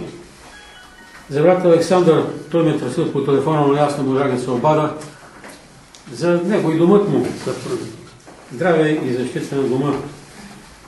Свещеник Димитри отдавна не сме говорили, но Господ да покаже милост за защита служението му и домът му. За един мъж, този Алеша от Португалия, Господ да го пази да не се отклонява, защото той е минал през много при изпитания, Бог му показал милост, но сега пак се опитва да го минава към, била към протестанти, сега минава към православната и сега а, му си го окажа да говори против протестантската църква. Там а, аз му изпращам чудесата, които Бог върши с, чрез брат Павен Петров. Той говори тази работи, както и да е Господ да го помилва. Страх Галя ти я спомена. За брат Петко от Англия не ми е писал скоро, Господ да покаже милост. За брат Миро, брат да го представихте. Даже за него. За сестра Хилда, за нейния дом, най-вече за брати. Го в молитви за милост и Бог, Господ да й дава мъдрост как да се обхожда със света. Ние живеем в света, но не сме от света. Те сега тук пишеше. Ние сме светилник, който трябва да свети и да бъдем съучастници в лукавите тия примамки на света, ти го каза също. За политиците ти си моли в началото, за управниците, Господ по милост да ни подари управници, които имат страх Божий и милост към сиромасите. Самия Господ, самия Бог говори чрез пророците си в Словото, че то, който владее на човеците да преразказано, да управлява с правда. И три неща, които отдавна са ми дадени за покаянието на наш народ, който не може да се покая, Господа покаже милост, ние като вярващи трябва, както Моисей застана в продо там на греха, и ние да заставаме и да се молим за покаяние на народа. Тия 70%, които са негодни за покаяние, той ти ги казал Господ, обаче в същото време иска да се спасат и те. Как ще се спасат? Еми, ако не, ако не ходатайстваме за тях, Господи, отвори им очите, да не бъдат такива глухи, както тук ослепила и очите им, и затворил ушите им, а ние трябва да се молим за милост. За освобождение България от духа на Антихриста. Той, това, което става около нас, това е Антихриста. Вижда, че тук това е война, също духовна война. Господ им е освободил духа, защото Той го поставил заради греховете ни, Той пак може да го дигне по милост. И за защита на беззащитните, го тук има едно писмо, даде пари за нищо. Но това го представям пред Бога, не се оплаквам. Хилда казах, аз сега здравко от Божули ще представя или някой? Да представя, защото и с нея не съм говорил, Господ да покаже милост към целия дом. Защото той има една, един Жорко, чух това име Жорко, дали тя го представя или някой друг? Жор, Жор, да. А, Жор, а, Жор, не Жорка, а Жорж. Това е, Жори, това е, това е от чужбина. Моите нужди с Господ ги знае. Благодаря, че мога да излизам, мога да влизам. Да ме пази и най-вече да не се грешава мен и домът ми и моите братци домът ми. Амин. Мога ли да дам едно предложение? Значи, нямам кола и нямам възможност да го направя. С удоволствие бих го направил. Ако може, поне по време на Господната трапеза, някой да докарва брат Петър Чикъров да взима Господна трапеза. Кой да докара? Брат Петър Чикъров. Чекъров. А, Да. Поне на Господна трапеза. нека, а, той трябва да иска. Трябва да го пита. Ти питал ли си го? Какво? Трябва да го питаш дали той иска. А, еми добре, ще го Питай го. трябва да видя телефона. Да му намеря телефон. Ами да се изправим. Брат Петре, нека се помолим и за един болен от рак, вярващ от Христо Ботев, рак на дебелото черво. Вчера им дадах да мирен договор имах, Да. една, станало само едно, по него да се покае. Той е брат на колкото, щом е болен от рак на дебелото черво. Митко се казва. Питко. Добре. Много е зле, толкова ако иска, може да го изтери. Господи, слава да бъде името Ти, идваме при Тебе с много нужди проблеми. Но Ти казваш, че небето не се страхува от нуждите, но небето се радва на нуждаещите се, които идват при Тебе. И Ти казваш, дойдете при мене, всички отрудени и обременени, и аз ще ви успокоя. Амин. Ние идваме, Господи, за да ни успокоиш, но идваме и с нашите приятели, роднини, брата и сестри. И затова те молиме за Стоянка, за Илия, за Йорданка и за двете дъщери, за спасение и царение на всички и спасението на Михаил и на Мария. Молиме те за изцелението на Виолета, Изцери щитовидната жлеза, Господи. Мощен и силен си до костия и обмената на веществата ще се нормализират. Молим те също, помогни на Ирена, Невена, Джована да се приближат до Тебе. Привлечи и към себе си. Молим те за Мария, за семейство Мариана и Димо, да им подариш детенце. Молим ти за покаянието на Таня, Томислав и Станислав. Молим ти за покаянието на Майкъл, на Невена и на Вълко и целият им дом. Благослови ги, привлечи ги към себе си, Господи, защото Ти казваш, ако Отец ми не ви привлече към мене, не може да повярвате. И затова ние те молим, Отче святи и правени, привлечи Майкъл, Невена и Вълко към Господ Исус Христос, за да повярват и да бъдат спасени душите им и царени телата им. Молим те за изцерението на Ирена от рак, на тените на танките черва. Молим те за Лиляна Петрова, има болки в краката от нар- нарушено венозно кръвообращение. Смири се и помилвай тази наша сестра. Молим те за Розалия и за Кристина. Господи, Ти знаеш, че там има нужда от силно присъствие на Святия Дух. И затова те молим и изпрати ангелите си да воюват и да бъде смамрен този демон, който тероризира и измъчва Кристина. Молим те, Господи, да промислиш за сестра Вероника, която се намира в Германия, да си намери подходяща болница и подходяща работа в тая болница. Молим и ти също за Ирена и Янко от Гоцеделчев чакат бебе. Лекарите съмнение, имат съмнение за генетична малформация на бебето, да се помолиме. И затова те молим и за това бебенце, Господи, за Ирена Янко да се премахне всяка аномалия в развитието на това бебенце и то да бъде изцерено. Молим и ти за тези хора, които брат Христо прочете. И още те молиме, Господи, за Галабина от Стара Загора и за децата и Дени, Цветани и Детелинка. За сестра Имела освободи от тия натрапчеви светски, хулни песни. Молим те за Богдан Волков да се върне при баща си. Молим ти за Веско и баща му Илия и цери простатата му. Молим ти за Кичка от Хаско. Молим ти за брат Павел и Теодора. Молим ти за Йосиф в Израел. И цери ръката му, и цери крака му, и цери окото му. Укрепи вярата на Хилда, укрепи вярата на Зелма, укрепи, Господи, вярата им. Молим и ти за Русица, за Йонка и Ангел.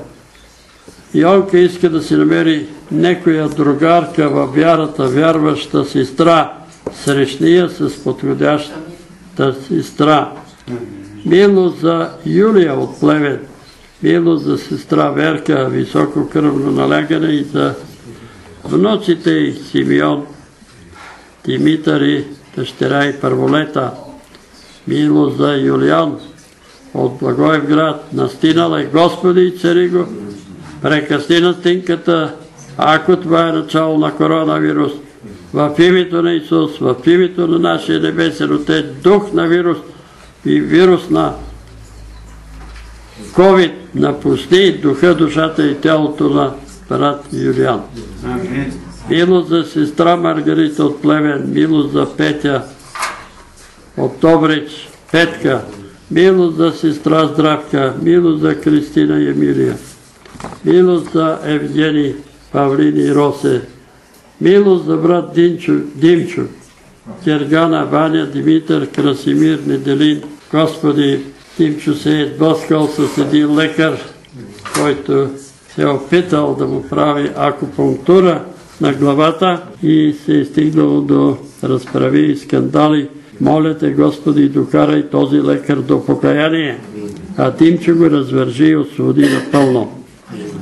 Благодарим и ти за норчето, че е много по-добре, но те молим отново за пълно нормализиране на желязото. Молим ти за Георги, Теменушка, Петя, Ралица и Павел и съпругата на Павел. Молим ти за брат Николай, за задомояване. Мило за сестра Мария, Зарко, Емилия, Радослав. Молим ти за Панталей, Теменушка и Христо. Молим ти за брат, брат Пламен и целият му дом и род, за брат Мартин и семейството му. За сестра Мария Тервел и Йорданка. Милост за Ивана и Кирил. Милост за Ценка, Мил. Деца и внуци. Милост за Мария, Надежда, Ивана и Лили от Пещера. Милост за Светлин, домът и родителите му. Милост за Бойка, дъщеря и зетове и внуци. Милост за брат Тодор и дъщеря му. Милост за Парижка от Мили за защита. Милост за Марти за защита от връждаване във вярата. Милост за Екатерина за Ицерение и женитба. И Диана за Ицерение, Германия. Милост за Емилия и Марахт на гениталите. И цария и помилвай я, Господи. Благодарим и ти за Снежанака, че операцията на окото е благополучно и цария съвършено. Милост за Димитър, Господи, операцията е минала добре на дебелото черво, той се чувства добре. Помилвай го, благослови го, утвърди го във вярата, милост за пред, болен от COVID в Германия. Милост за Мариано от Велико Търново. Господи, укрепи здравето и силите му. Помилвай брат Канчо и майка му и брат му, Господи. Милост за брат Кирил, Елена, Владимир и Кирил. Изцери коляното и окото на Петя, молим и те, Господи. Милост за Мариола, Димитър и Иван и децата им и внуците им. Милост за брат Наско и Деси и за Михаил, благослови го и освободи го от това заболяване. Милост за Иванка и Ради в Гърция. Милост за Валерий в Германия и семейството му. Милост за Методи и дъщеря му в... и дъщерите в САЩ. Милост за Нина, Иван, Кирил, Хари и децата им.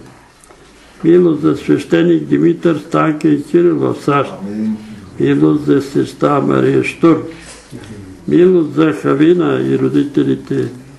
Милост за моята сестра. Господи, тя е в болница. В понеделник щеха да я изписват. Я изписвали. Бъркоти има в болницата. Лекарите заминали командировка. Нема кой да се справи там. Моля те, Господи, помилвай ги тия доктори и нема кой да приеме парите за операцията. Смири се за сестра ми и помилвай я, Господи, слава да бъде името Ти. Ило за Тодор и Кери, за внука, той търчи миличкия и съпругата му, която е в Африка. Милост за сестра Васки и сродниците. Милост за Петя и целищите ми да те. Милост за Роси, Ганами и Елия и целищите видите им жлези и цели кръста и краката на Елия. Милост за сестра Динка и за внуците и Димитър и Божидар. Милост за брат Павел от Ямон. Милост за Петър, Елмира, Ростислав. Благодарим ти, че за една нощ свалиха температурата ти ги цари от COVID. Отново те молим за брат Мирослав и семейството му. Молим и те за Боряна, Ирена и Цери и открепи здравето на брат Илия Иланов. Благослови ни и нас и укрепи нашето здраве. Благослови всеки един от нас. Господи, сега слезни между нас, души святи, със своята сила. И нека огъня на Святия Дух да премине от темето на главите ни до петите ни и цели цялото и тяло. И царявай пети, и царявай глави, и царявай очи, и царявай уши, и царявай гърла, и царявай бели дробове, и царявай трахей, и царявай носоглътки, и царявай стомаси, черва, панкраси, и царявай бъбреци, и царявай простати, и царявай жлъчки, и царявай черни дробове, и царявай стави, кости, мускули, кожи, кожни заболявания. Изцелявай сухожилия.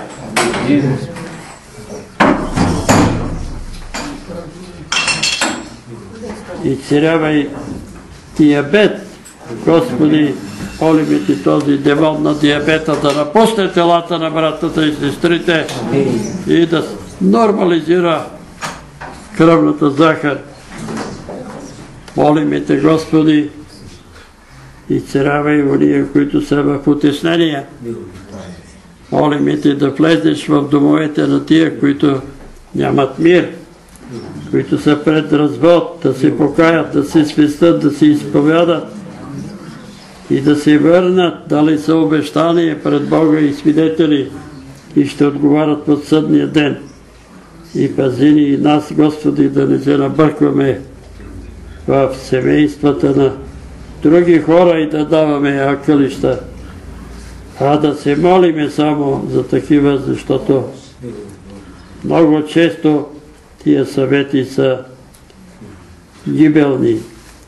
Вместо да ги водиме към покаяние и им даване нечестиви съвети да се разделят и ще отговаряме за такива съвети. Молим те, Господи, за ония, които са преследвани заради вярата.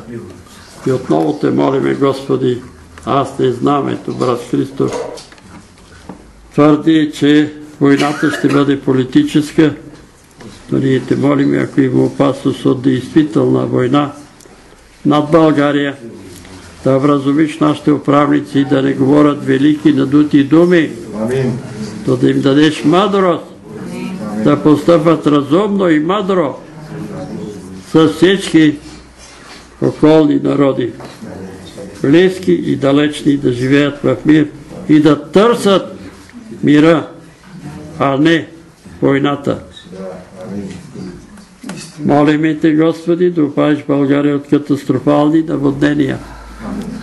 Ето, говори се, медиите говорят, в Пакистан около 30 милиона са наводнени от страхотни наводнения и всичко са загубили. Страшни наводнения стават в Пакистан и Индия. Природата, природните сили се разклатиха. Това, което ти говориш, Исусе, вече е факт по целия свят. Пожари, наводнения, бури. Молиме те, Господи, да опазиш тая малка страна България, защото ти си ни дал да живеем в един земен рай. Благодариме ти, опази ни. И сега всички заедно искаме да ти се помолим с молитвата, с която Твоя син ни е научил да се молим. И като се молиме да казваме Отче наш, който си на небесата, да се свети Твоето име, да дойде Твоето царство, да бъде Твоята воля, както на небето, така и на земята. Хлябът наш насъщния, дай го нам днес и прости ни дълговете наши, както и ние прощаваме на нашите длъжници. И не ни навеждай в изкушение, но избави нас от лукавия, защото е Твое царството и силата и славата во веки веков. Амин. Вярвам в един Бог Отец, Вседържител, Творец на небето и земята, на всичко видимо и невидимо, и в един Господ Исус Христос, Сина Божий, единородният, който е роден от Отца, преди всички векове, светлина от светлина, Бог истинен от Бог истинен, роден, несътворен, единозъщен с Отца и чрез когото всичко е станало, и който заради нас човеците и заради нашето спасение слезе от небесата и се въплати от Дух Святаго и Дева Мария и стана човек и бе разнат за нас при Понтия Пилата и страда и бе погребан и възкръсна третия ден според Писанията и се възнесе на небесата и седи от дясно на Отца и пак ще дойде със слава да съди живи и мъртви и царството му не ще има край. И в Духа Святаго, Господа, живът горящия, който от Отца изхожда, колото се покланяме и го славиме наравно с Отца и Сина, и който е говорил чрез пророците, една свята, вселенска и апостолска църква, изповядвам едно кръщение за опрощаване на греховете. Чакам възкресението на мъртвите и живот в бъдещия век. Амин. Господи, издигам тези дрехи, за да бъдат осветени от Твоето присъствие и когато бъдат поставени върху телата, в името на Отца и Сина и Светия Дух заповядваме на всички болестни, зли и нечисти духове. Напустете телата им. Напустете душите им. Напустете духовете им. Напустете домовете им. Отивайте там, където Бог е приел място за вас. Не се връщайте и не обреждайте други души. Господи, благослови, помилвай и цари тези люди. Амин. Казвай, църкви имате видение откровение. Започна от зад напред, а, като започна да се моли за дрехите, всичко нормално върви. Обаче като почнах да гониш духовете, вълни от благодат дойдоха. Да се маха това, да се маха коня. Ами Бог дава сила, когато една сестра казва, не мога да кажа, отричам се от сатана. Абе, като кажеш, отричам се от сатана, Бог ще даде сила. И сатана ще побегне. Ма страх ме вика, защото аз не съм толкова духовна. Брата и сестри, моля ви да се помолим за изцелението от херпес, зостер, анемия и разширени вени. А така също за пълно освобождение на бойка и укрепане на здравето и и. И утвърждаване във вярата. Да се помолим и за спасението на и, Ирина. Ирина ли? Да. Борислав и Климен, Катя, Диана, които наскоро загубиха съпрузите си. Благодаря ви, мило, за тези, които са загубили съпрузите си, Господ, да ги утеши. Нека наведете глава и да се помолим за Бойка. Господи, смили си за Бойка. Помилвай я, Боже, Ти знаеш, и тя е сираче, сама е, майка си замина, баща й си замина. Бори се и тя с този дух на Антихриста в тия книги и не може да се освободи от тия книги. И не си дава сметка, че я държи дявола вързана с това въже на почет към книгите, които са противо противни на християнската вяра. Помогни и да се освободи от този товар. Помогни, Господи, и намири брати и сестри, които да могат да й помогнат да се очисти дома й от това зловоние, което се намира в тия книги. И тя да бъде развързана и царена. И цари тялото, и цари душата. И цари от всички болести, които са я нападнали и развържи я от всеки болестен, зъл и нечист дух. Амин. В началото на молитвата имаше спомена за някакво семейство да искат детенеце. Искат детенеце, Господи, им А, да, тия хора. Виждам една играчка, такава, като куличка на четири колеса. Играчка. Де се тегли с... Ами да купат играчки за детето. Те, дето искат деца, да купат играчките. Нали? Знаете, отишли, спомням си, на гарата. Беше и страхотна жега, това беше преди, може би, 50 години. От Харман Ли в чакалната на гара казва нашето село вика има и турци, има и християни. И ходжата и свещеника решиха да направим общ молебен за дъжд. И всички тиваме на полето. Свещеника се моли, дали чете от Библията за такива моменти, когато Господ е дал дъжд, хожата чете други моменти, обаче било страшна жега там, а едно дете на 7-8 години, единственото дете било дошло на молебена с чадър. Там го попитали хората, бе къде си понесъл този чадър, бе, виж каква е шега. А как къде бе, нали идваме на молебе за дъжба, сега ще почне да дъжба. И вика, като се, откъде се появиха тия облаци, малки облаци, после като падна, вика, като ни Запердаше един дъ- дъжд, направени, вика, като мокри пуйки. Викам, към нас викат като мокри кокошки. А той, вика, юнак с чадъра, ето това е вярата. Имайте чадъра, показва, накупете играчки на детето. Ама го направете с вяра. Добре, давай на там.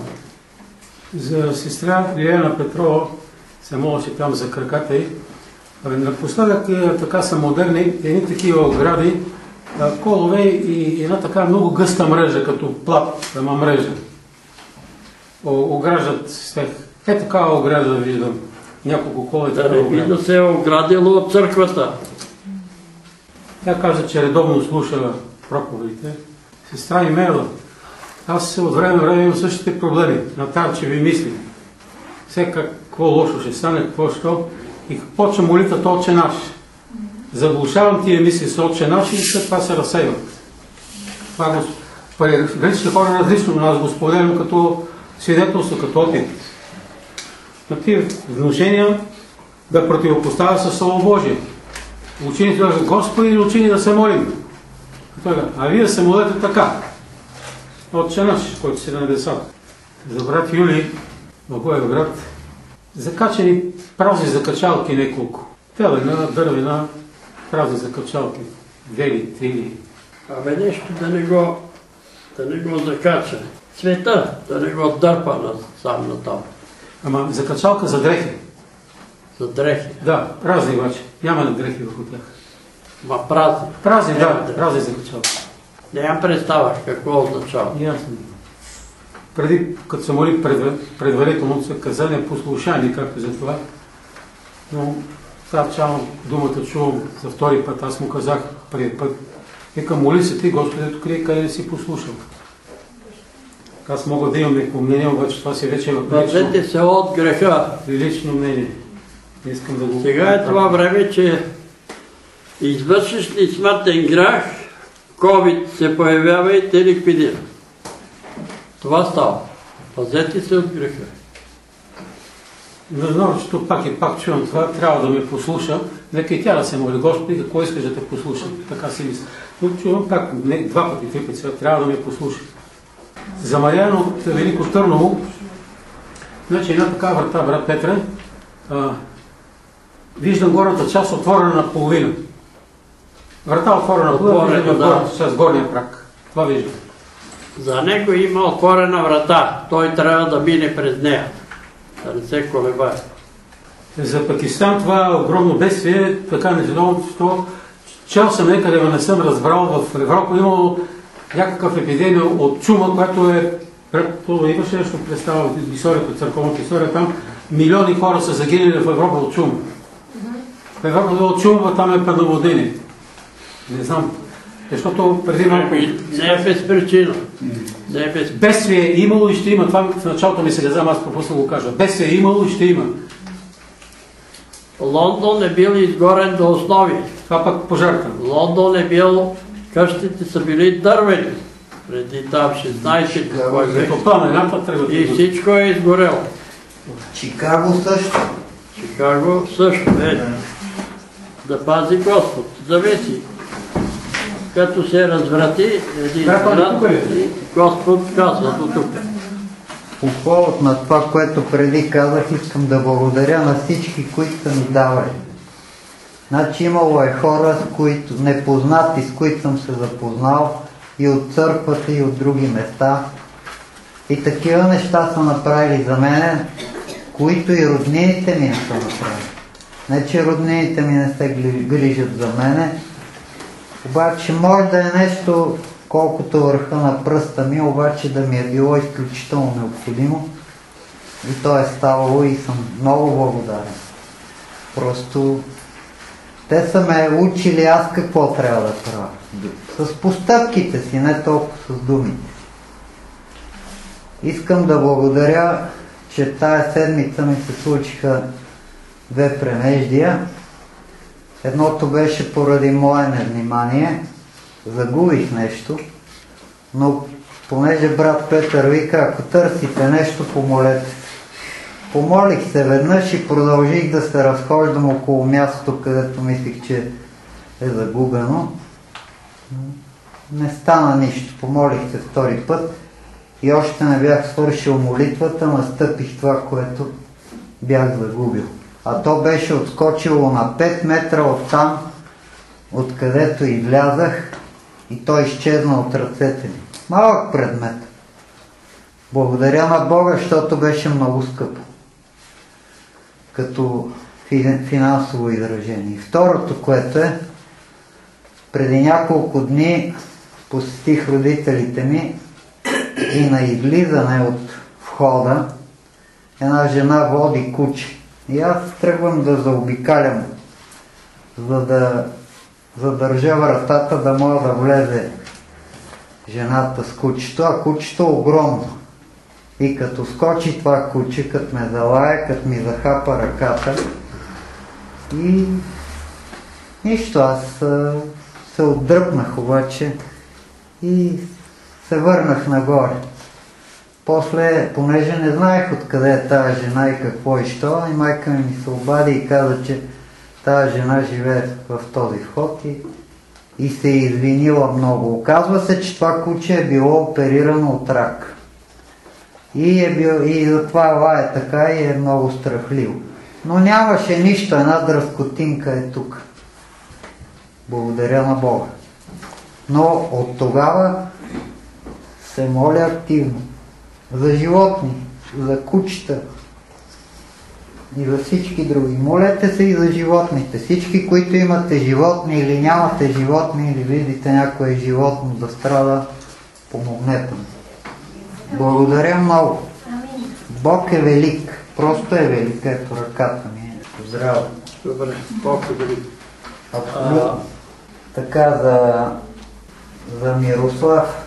Значи виждам един диригент и чувам да погледне на диригента Господ. Така, за Станимир. Намира се на дъното на пропаст. Станимир, който е напуснал семейството си. Семейството на Пантелей. Аз му го казах, но Теменушка нямаше да чуе. Един боксер е застанал на ринга и е готов да води боксов матч. За Виолета, която е с проблеми в щитовидната жлеза, изстреля се една стрела и влезе точно в десетката на мишената. За Христина виждам един войник, който е клекнал, извадил е оръжието и се цели, обаче не стреля все още. За Йонка как да си намери приятелка, като не ходи на църква? За Николай Виждам един свещеник, който държи към банка с дръжка и бие към банката. Заради и Иванка от Гърция. Значи виждам един малък кораб рибарски, който плува в изключително бурно море. За изцерение на различни болести.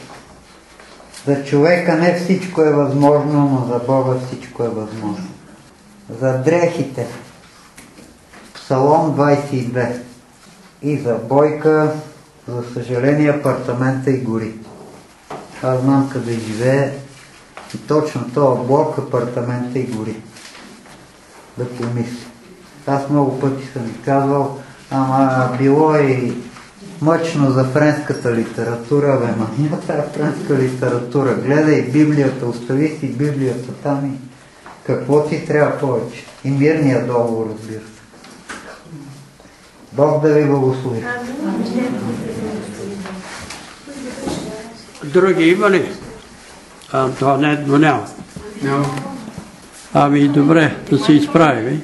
И сега благодата на нашия Господ Исус Христос, любовта на Бога Отца, общението и ръководството на Святия Божий Дух да бъде с всички нас.